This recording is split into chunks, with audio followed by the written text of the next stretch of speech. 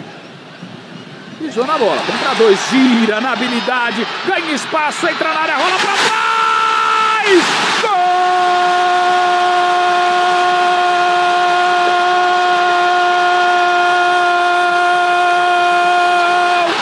De Rafael Tavares! É do